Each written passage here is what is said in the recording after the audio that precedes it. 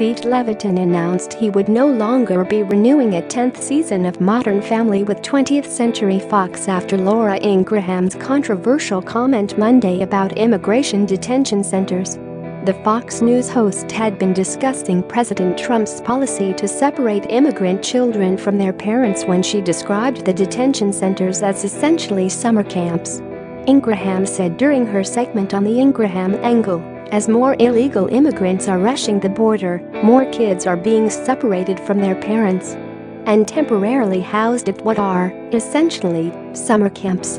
The Modern Family co-creator and executive producer took to social media Tuesday to confirm he would be cutting ties with the broadcasting company I look forward to seeing number Modern Family through to the end and then, sale or no sale, setting up shop elsewhere, Levitan wrote on Twitter.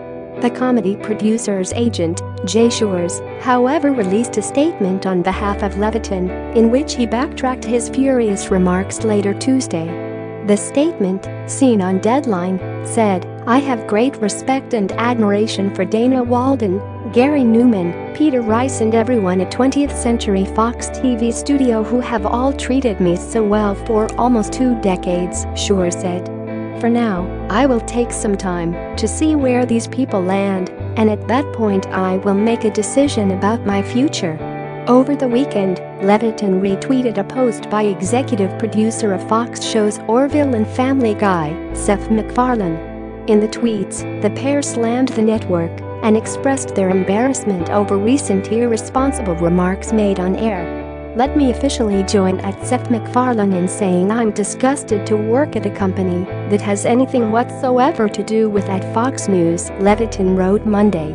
This bull's tea is the opposite of what number Modern Family stands for. He also said in part, conspiracy theories and Trump's lies gets harder to swallow every day as I drive onto that lot to make a show about inclusion. MacFarlane had slammed Fox News political commentator Tucker Carlson Saturday over his statement to viewers about Fox News rivals. Tucker said, if you're looking to understand what's actually happening in this country, always assume the opposite of whatever they're telling you on the big news stations. MacFarlane tweeted in response, in other words, don't think critically, don't consult multiple news sources, and in general, don't use your brain. Just blindly obey Fox News. This is fringe shit, and it's business like this that makes me embarrassed to work for this company. Levitan also followed up with more tweets one in which he criticized conservative commentator Ann Coulter for her remark that said migrant kids are child actors. He wrote, this folks, is the face of pure evil, on Monday, Ingraham's words horrified many after pictures were released on air showing immigrant children lined up in a series of cages created by metal fencing at the centers. Ingraham afterward tried to retract the statements toward the end of the show, responding to the backlash on social in real time. Apparently there are a lot of people very upset because we referred to some of the detention facilities tonight as essentially like summer camps, Ingraham said. The San Diego Union Tribune today described the facilities as essentially like what you would expect at a boarding school. So I will stick to there are some of them like boarding schools.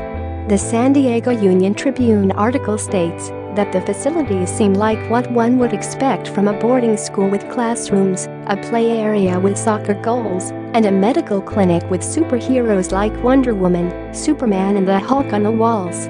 The story goes on to state, though that on closer inspection, details about the California licensed child care facility run by Southwest Key Programs reflect the situation of the children it serves, noting the fencing that is backed by privacy netting and a sign noting that the facility is under video surveillance 24 hours per day. Kate Morrissey, the author of the story, did not personally comment on Ingraham's comment, but did retweet two people who said the Fox News host misrepresented the piece. It only took a quick Google search to debunk at Laura Ingraham on the @stud story that she says called detention center like summer camp. At Jill Educate was saying, that looks were deceiving, wrote Jeremy Borden in a post that was retweeted by Morrissey.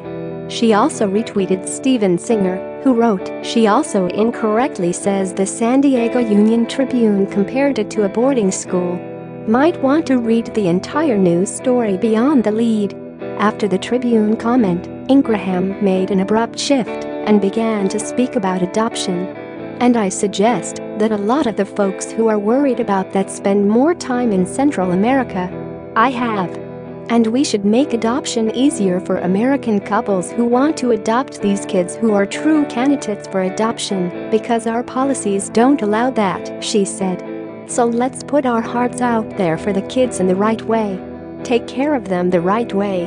Open your hearts and your homes to them.